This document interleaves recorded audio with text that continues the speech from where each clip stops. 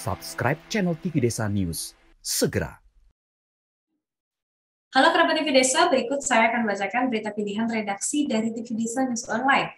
Kali ini berjudul 75 desa di Kabupaten Ciamis akan gelar Pilkades serentak. Gelar pemilihan kepala desa serentak akan segera dilaksanakan 75 desa di 25 kecamatan sekabupaten Ciamis pada tanggal 27 Maret 2022. Untuk tahapan Pilkades serentak 2022, Herdiat juga memaparkan untuk pelaksanaan pengundian dan penetapan nomor urut dilaksanakan 12 Maret 2022. Tahapan kampanye akan dilaksanakan selama tiga hari dari tanggal 21 sampai 23 Maret 2022 untuk hari tenang 24 hingga 26 Maret dan pelaksanaan pemilihan digelar serentak pada tanggal 27 Maret 2022.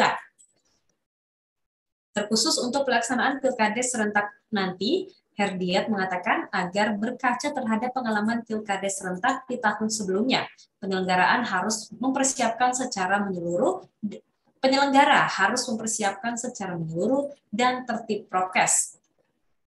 Bupati Ciamis juga meminta bantuan kepada TNI dan Polri yang bertugas di wilayah penyelenggaraan Pilkades untuk membantu mengamankan jalannya pesta demokrasi di level desa.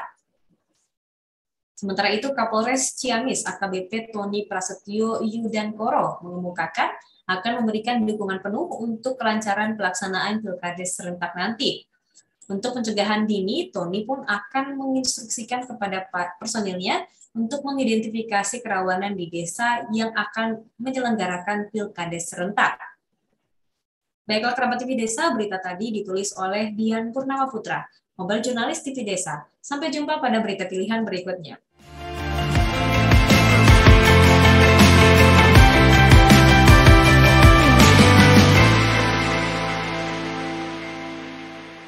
Subscribe channel TV Desa News. Segera.